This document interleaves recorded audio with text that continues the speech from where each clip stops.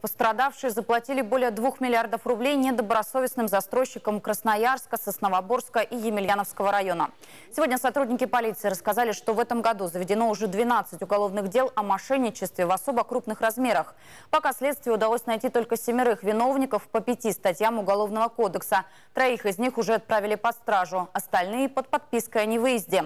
Всего следователи насчитали около 2300 пострадавших. Одним из виновников признали компанию «Резолит». Фирма обманула больше 20 человек на общую сумму более 26 миллионов рублей. 13 из них удалось вернуть после наложения ареста на недвижимость. Застройщик данного дома не имел соответствующих разрешительных документов.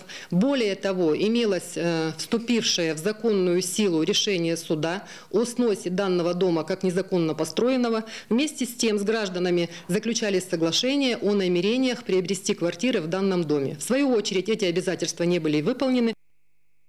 Среди обманутых также оказались клиенты компании «Злата» и «Золотая горка», больше всего пострадавших от компании «Красзаподстрой». Виновнику назначили наказание в виде лишения свободы, сроки пока не уточняются.